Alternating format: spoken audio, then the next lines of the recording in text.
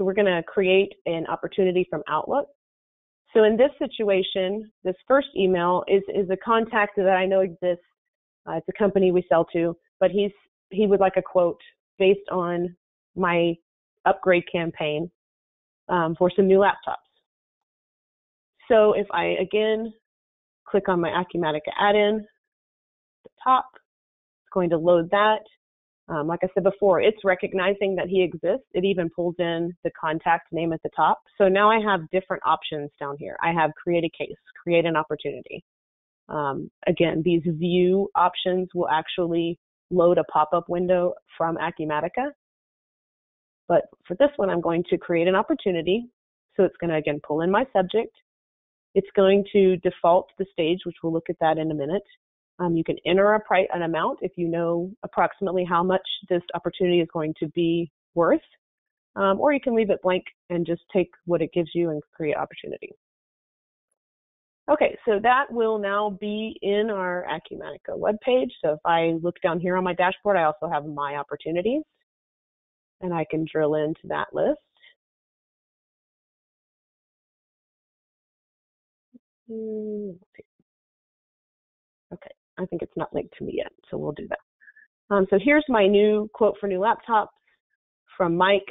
We will open that up here. And I can assign myself as the owner.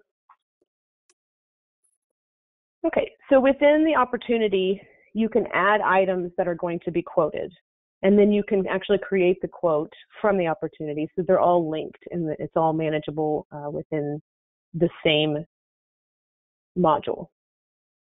So I'm going to, so I've assigned it to myself. I'm going to switch it to open as I'm now interacting with my customer and updating information within this opportunity. And if I flip over to document details, I can add an item here. And he wanted three laptops and I can decide to give him a 20% discount. And I can enter all of that in here.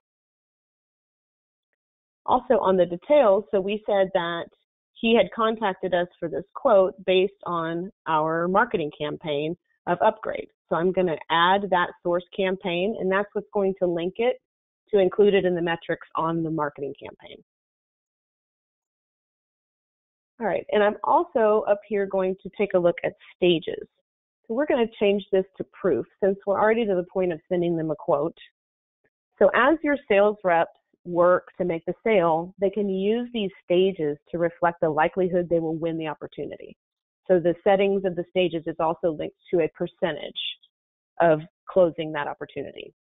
And the stages are fully configurable and can be used with this opportunity total to report on forecasting for sales. So if we take a quick look at this opportunity summary report, you can see that this is broken out by opportunity class. So you could have different groups of opportunities. And then it's also broken out across the top um, by stage. So with this pivot table, we can see, okay, how many of my product sales opportunities are in the negotiation stage and what's the value of those? So you can manage that forecasting.